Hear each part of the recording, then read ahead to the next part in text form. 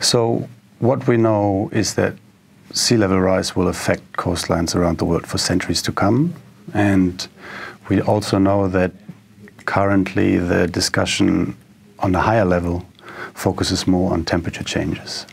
And because we know also that sea level rise is so potentially so harmful to the coasts, we we um, we actually make a, make an effort to to underline that it's important also to look at this quantity, and it has to be beyond 2100 because it um, reacts so much slower than temperature.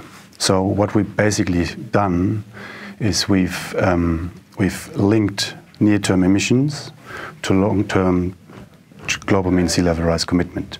So more specifically, we actually looked at the emission pledges under the Paris Agreement that are currently available, and they go roundabouts 2030. And we calculated for these emissions the global mean sea level rise commitment in 2300.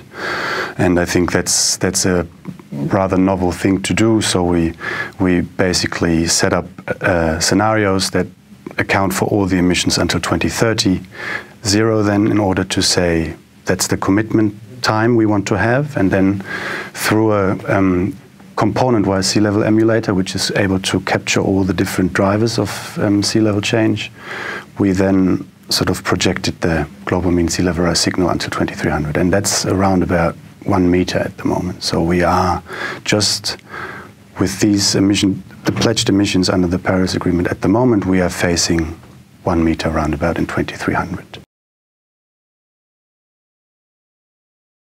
I think if you include sea level rise in the in the bigger picture, it becomes even more clear that near-term emission reductions are absolutely mandatory to to limit long-term impacts from global climate change. So, um, in the context of the Paris Agreement, it's very important to also make that link.